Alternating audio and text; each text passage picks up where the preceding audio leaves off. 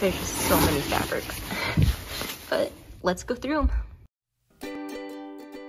Hey, welcome. Today we are going to be doing an unboxing of a fabric scrap box I ordered from Fabric Wholesale Direct. So this is the 10 pound fabric scrap box. This was how it showed up. There was the box and then all the fabrics were filled inside of it. So I'm really excited to go through it and show you what I got. So the first fabric is I got two yards of this really fun snakeskin print. It is a cotton that holds up very nice. I think will be fun to work with.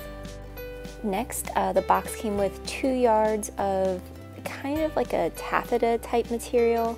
Um, I would say that it's kind of shedding, it has lots of little strings, but it looks like it will hold up really well for like a dress or maybe a nice shirt, so I'm excited to work with it. Then I got, it's probably about a yard and a half of this brown waterproof material. It feels like a raincoat, so I'm thinking of maybe doing some sort of like outdoor bag with it. But um, yeah, it definitely feels waterproof, very sturdy, and really holds up. Then I was given about a yard, maybe a yard and a half of a white knit material that um, is actually not too see-through. It's very nice and it would work very well for like a shirt or a dress. Next, there were about, I almost want to say like four yards of this really nice white organza. I love it. It's going to be perfect for like a flowy dress or maybe a flowy blouse. I'm really excited to use it, but definitely very nice quality and a lot of it. Then there was about two yards of some white neoprene, so I'm going to be making another neoprene quarter zip and I will link the video up in case you want to make one too.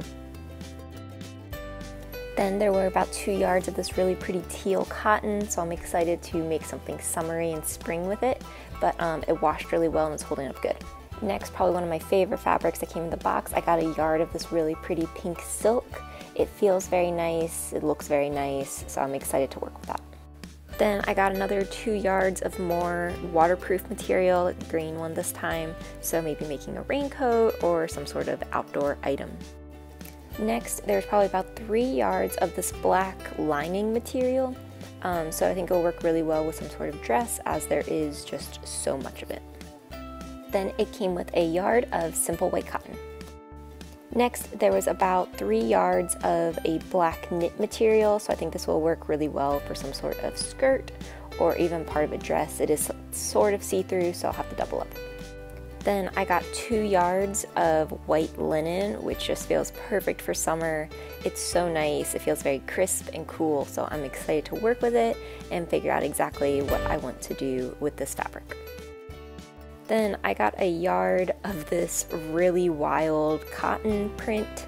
I'm not entirely sure what I'm going to do with it yet, just so you can see a full image of it, but it's really vibrant, it's very fun, the colors are very bright. So I'm excited to work with it and figure out just a very unique project for this unique fabric. And that's it. Overall, I would say this box was definitely worth it. I've used a couple of the fabrics already. Here's a couple sneak peeks of what's to come.